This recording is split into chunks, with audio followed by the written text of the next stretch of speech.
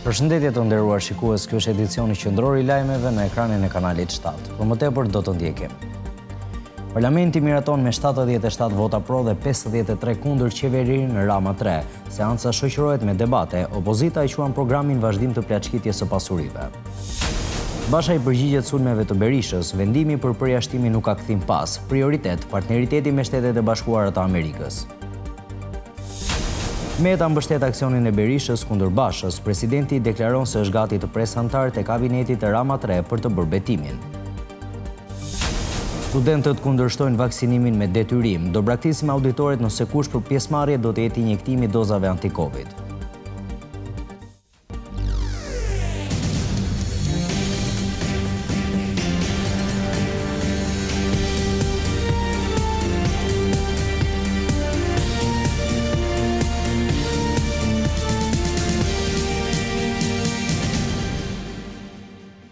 Vazhdojmë gjerësisht me lajmet. Qeveria Rama tre u miratua këtë të premte me shtatëdhjetë e shtatë vota pro dhe pesëdhjetë e tre kundër. Seanca parlamentare u shoqërua me debate dhe bllokim të foltores së Kuvendit.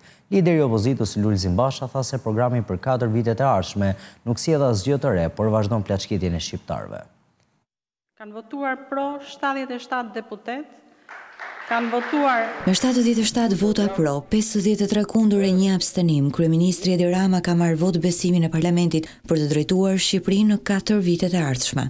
Paçim sukses në këtë sfidë, që është sfida jonë më e madhe. Që ky mandat të jetë realisht një mandat historik për Partinë Socialiste edhe për vendin tonë dhe pastaj mandati i katërt të jetë një të jetë një rrjedhojë e natyrshme e tretit. Përballja e parë në Parlament e liderit të mazhorancës Edi Rama dhe kryetarit të Partisë Demokratike Lulzim Basha u shoqërua me akuza e kritika të forta. Por ajo që ka qenë e qartë për të gjithë prej fillimit është se i vetmi program që ju keni është vijimi i gjithë i plaçkitjes së gjithçkaje publike dhe private për veten tuaj dhe për klientët tuaj. Një fjalim që treçereku është copy paste në kompjuter nga fjalimet e fushatës. Dhe pastaj ca pjesë tjera nëpër të, vetëm përsëritje që mund të jetë edhe shkak i stresit, po nuk është kjo koha që unë të përgjigjem deri në fund. Ke boll kumërie, kështu që këtu unë ndalem. Edhe pse Edi Rama e Lulzim Basha në nisje të këtij mandati të tretë duken më larg se kurrë, të dy bien dakord për t'u ulur për disa reforma të mëdha. edhe pse rruga e Lulzim Bashës duket e ndryshme nga ajo që është ndjekur tradicionalisht. Të dashur bashkëqytetarë, ne duam të punojmë me ju. Ne duam t'i japim jetë një debati që nuk mund të zhvillohet vetëm brenda kësaj salle ku zëri i qytetarëve të dëgjohet për t'i dhënë jetë një reforme zgjedhore që të jetë në lartësinë e kërkesës së shoqërisë për demokraci përfaqësuese, Nuk kam asnjë problem që të zbresin në popull dhe të flasin për reformën zgjedhore, por në fund të ditës, nëse duan që të kenë një diskutim dhe nëse duan që ta synojnë në terrenin konkret realizimin e këtyre e këtyre synimeve, duhet të flasin me ne. Pas votës në Parlament, Edi Rama duhet të presë Presidentin e Republikës Ilir Meta, i cili do të organizojë ceremoninë e betimit të Qeverisë para se ajo të nisë punë. Lulzim Basha iu përgjigj sulmeve të Sali Berishës duke deklaruar se për të nuk ka kthim pas. Kreu i PD-së u shpreh se për demokratët prioritet është aleanca me Shtetet e Bashkuara të Amerikës, pasi kjo i shërben të ardhmes së Shqipërisë. Kryetari i Partisë Demokratike, Lulzim Basha i është kundërpërgjigjur sulmeve të paraardhësit të tij, Sali Berisha, duke i bërë të qartë se dera për të është e mbyllur. Edhe pse shmangu komentet për akuzat e ish-kryeministrit, Basha e bëri të qartë se vendimi për përjashtimin nuk ndryshon. Nuk ka kthim pas.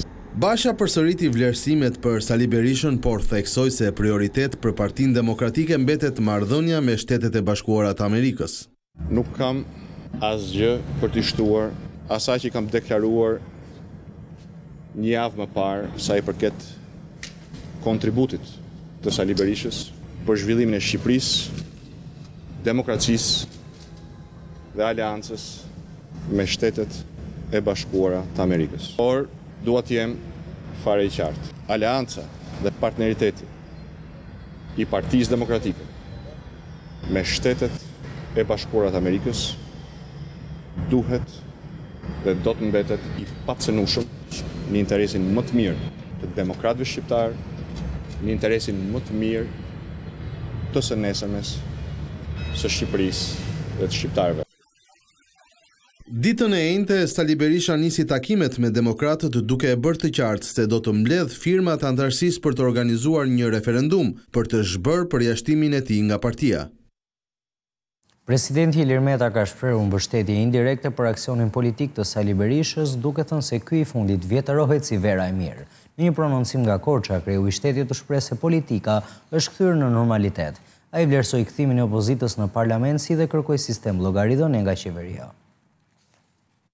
Maturimi i verës është përdorur si krahasim nga ana e presidentit Meta për të vlerësuar në mënyrë indirekte lëvizjen e Sali Berishës i cili tashmë ka nisur një përballje me Lulzim Bashën pasi ky i fundit mori vendim për përjashtimin nga grupi parlamentar Duke folur nga Korça, kreu i shtetit pati këtë deklaratë. Nuk dëshiroj të merrem me çështje të tilla për arsye sepse nuk është kjo detyra ime. Sigurisht që zoti Berisha nuk mund të rri pa e them që është si vera, sa më shumë kohë kalon aq më tërheqës bëhet, po aq edhe më demokrat bëhet. Pas tensioneve që u shënuan në periudhën parazgjedhore, presidenti e gjykoi në gjendje normale situatën. Ai ndër të tjera vlerësoi rikthimin e opozitës në parlament, ndërsa tha se mirëpret betimin e qeverisë dhe shtimin e llogaridhënies përpara qytetarëve. Unë jam i detyruar të respektoj Kushtetutën e Republikës Shqipërisë. Shpresojmë që opozita të përmbushë përgjegjësitë e saj në parlament. Që Parlamenti të jetë më funksional, që sistemi i llogaridhënies të nisë të funksionojë në interes të mbrojtjes së interesit publik dhe po kështu dhe gjithë institucionet e tjera të rimarrin veten, të fitojnë integritetin e tyre dhe të respektojnë gjithmonë Kushtetutën e Republikës së Shqipërisë. Meta nuk la pa përmendur ruajtjen e sovranitetit dhe respektimin e Kushtetutës, që sipas tij janë prioritete. I gjithë protagonizmi im jo i zakonshëm në dy vitet e fundit nuk ka qenë i kërkuar. nga Ilir Meta, por ka qenë i imponuar në mbrojtje të demokracisë, në mbrojtje të Kushtetutës, në kushtet e braktisjes nga opozita të gjithë institucioneve, që nga Parlamenti, pushteti vendor e çdo gjë tjetër, por dhe në kushtet e përpjekjeve të pandalshme të mazhorancës për të kapur çdo institucion. Ditën e premte, Meta u ndal në qytetin e Korçës në një aktivitet në nder të ish të përndjekurve politikë. Ambasadorja e Shteteve të Bashkuara të Amerikës, Yuri Kim ka zhvilluar një takim me kryetarin e Kuvendit, Lindita Nikolla. Lajmin e ka bërë të ditur vetë diplomatja nëpërmjet një postimi në rrjetet sociale, ku ka apeluar deputetët për debat të drejtë dhe sjellje korrekte në raport me qytetarët që i kanë votëbesuar. Kënaqësi të uroja Lindita Nikollën për zgjedhjen si kryetare e Kuvendit. Më vjen mirë të shoh parlamentin me forcë të plotë, me opozitën e pranishme dhe duke folur hapur. Respektimi i diversitetit të pikëpamjeve, debati civil dhe bashkëpunimi aty ku është e mundur, janë thelbësore për demokracinë dhe llogaridhënien para votuesve, përfundon postimi i ambasadores.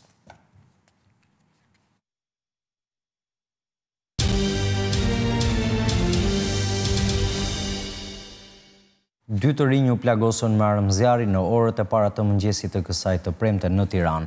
Enis Sanxhaku, njëzet vjeç dhe Noa Mato, nëntëmbëdhjetë vjeç u qëlluan nga persona ende të paidentifikuar tek mbikalimi i Qafë Kasharit. Ata u dërguan me urgjencë drejt spitalit ku ndodhen jashtë rrezikut për jetën, Të rinjtë treguan para hetuesve se ishin duke u kthyer nga një ndeshje futbolli, por rrugës u konfliktuan me disa persona për shkak të një manovre të gabuar në rrugë me makinë. Konflikt ky që përfundoi me përdorimin e armës së zjarrit. Ndërkohë, policia po punon për identifikimin dhe kapjen e personave të përfshirë në këtë ngjarje kriminale.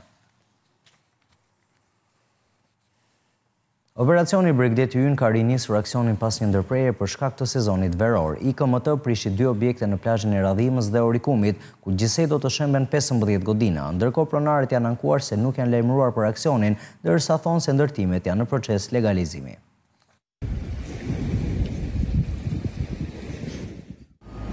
Pas një pauze dhe ndërprerje për shkak të sezonit veror, duket se ka rinisur aksioni Bregdeti ynë. Pas disa objekteve të prishura në zonën e bashkisë së Himarës, sot Bregdeti ynë është stacionuar pikërisht në plazhet pranë Radhimë Orikum. Aksioni i Inspektoriatit të Mbrojtjes së Territorit nisi me shembjen e dy objekteve të para.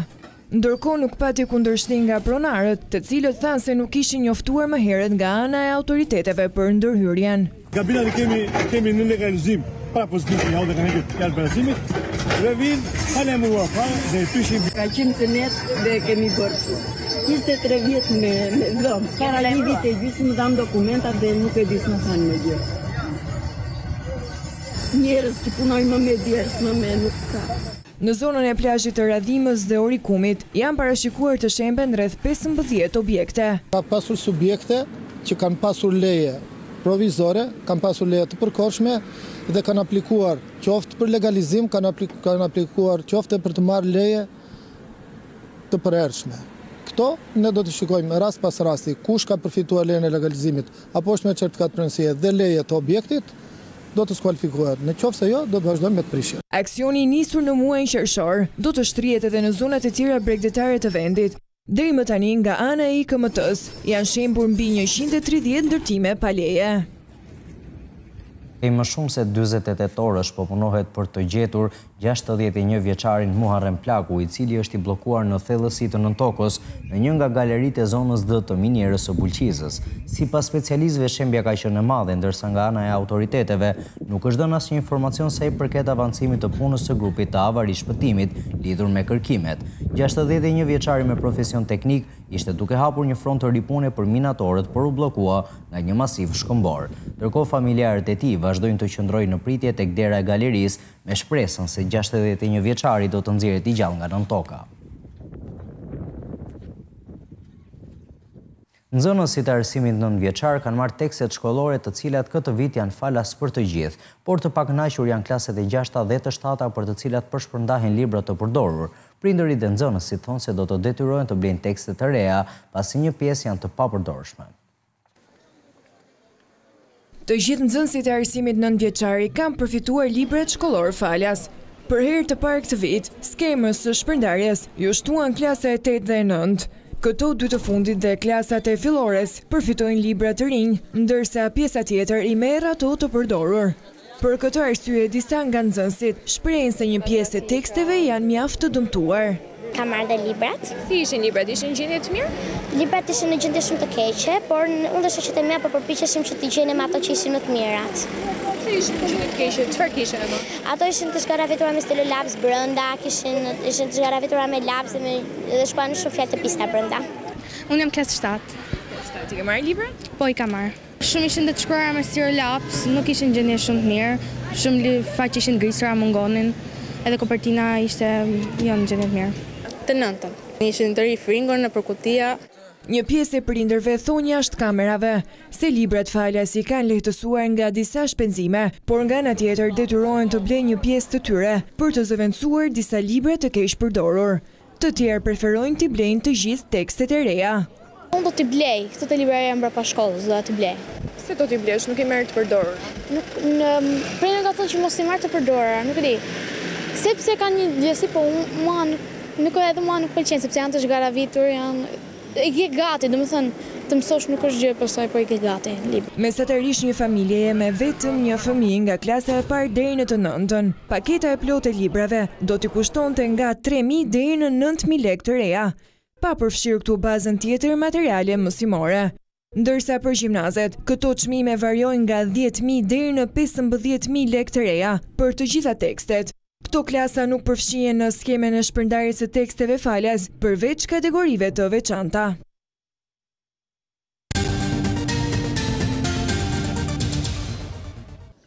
Miroslav Lajçak ka takuar Presidenten Osmani dhe liderët e partive opozitare të Kosovës duke kërkuar angazhimin e tyre në dialog me Serbinë si diçka që është në interes të Kosovës. Ai u shpreh se marrëveshja është rruga e duhur përpara, ndërsa shtoi se për këtë duhet angazhim i të gjithë aktorëve.